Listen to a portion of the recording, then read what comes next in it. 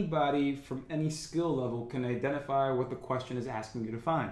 So always start there. And at the top left of the screen, right over here, you're going to see what do you want, what do you have, and what's the connection. That's really going to be the three step process you should tackle any word problem with.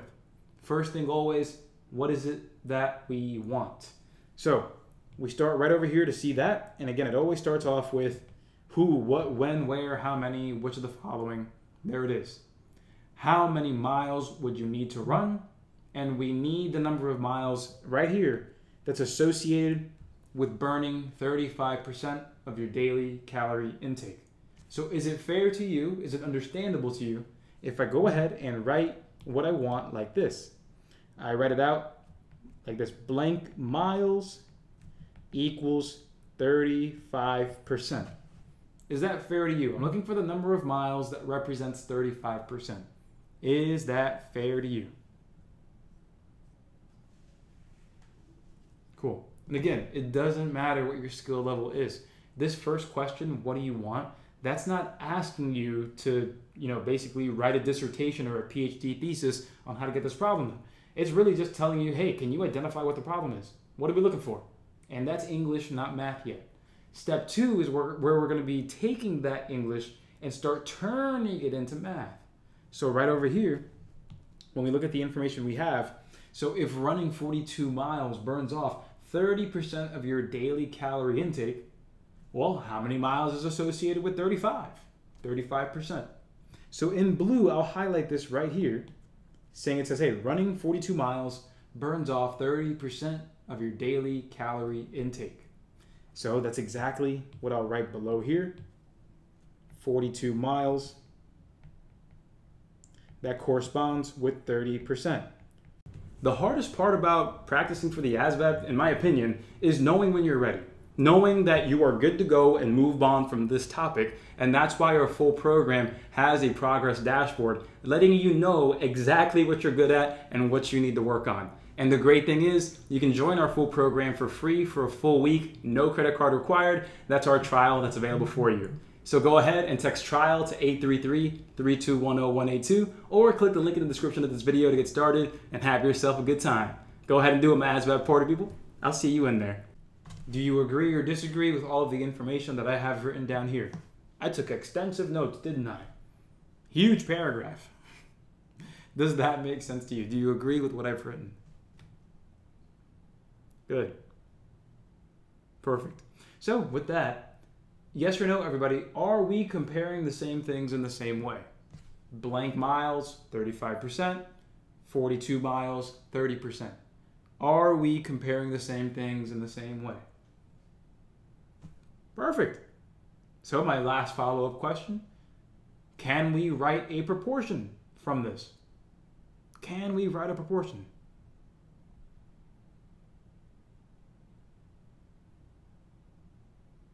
Absolutely.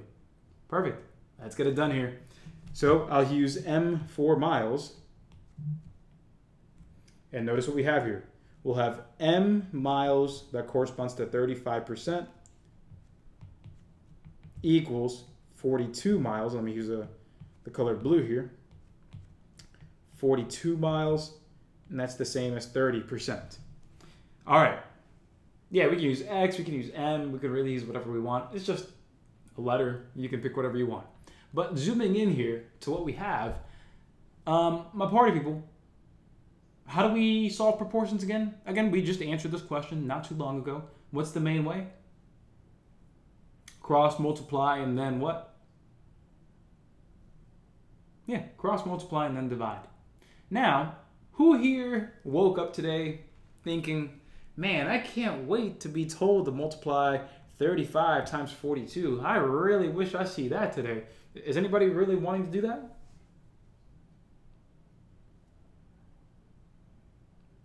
A simple note would suffice, right? So yeah, we can absolutely simplify first. So I love the experience taking over here. We don't need to cross multiply 42 times 35 and then eventually divide by the 30. What you can do, everybody, you're looking at a fraction here. You're looking at a fraction. If you want, and you should do this, you should always look to simplify before you perform tasks. simplify whatever you have in front of you because it reduces the numbers. And when you do calculate, you are dealing with easier numbers. So again, what we would have had to do was 35 multiplied by 42. But I'm going to invite you to really notice that 42 and 30 are both divisible by the same number. What's that? What number? What's the biggest number that you can think of that can divide into both 42 and 30? 2 is definitely a number, but it's rather small. What number can we think of that goes into both 30 and 42? It's not going to be 7, it's going to be 6. Because 6 multiplied by 7 is 42, and then 6 multiplied by 5 is 30. So we can feel free here to divide a 6 from both the numerator and denominator. Again, that's all simplifying a fraction is. We are factoring out, we're dividing the same thing that can go into the top and the bottom. So what that's going to do for us, we still have the m over 35 on the left side, but on the right side now, we have something beautiful. 42 divided by 6, that's going to be 7. 30 divided by 6, that's going to be 5. Booyah. We're good. Because now, hey, we can actually see this as a much easier question. 35 times 7 ain't that terrible, and then dividing by 5 really won't be that bad. But we can actually take it a step further. My party people, quick question. Is it true that when you're working with equations, as long as you're doing the same thing to both sides, you're good? Isn't that true? Yeah, as long as you're doing the same thing to both sides, you're fine. So notice how, again, we would have had to do 42 times 35, but now here's another realization we can make. 35 in the denominator here, and the 5 in the denominator over here, we can simplify that even further if we wanted to. Or we can compare the same things in the same way.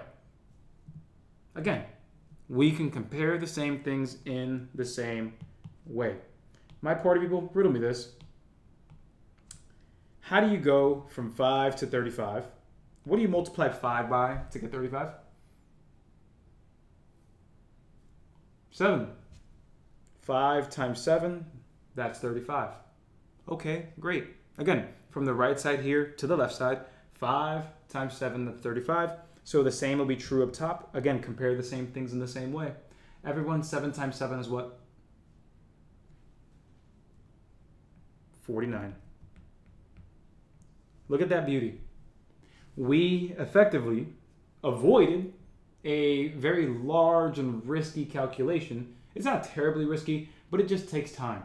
You know, why take the 10, 20, 25 seconds to perform that calculation, then the division, when you can notice that you can simplify a fraction and then just compare and you get your answer. Is this helping anybody out in terms of their confidence with calculating proportions?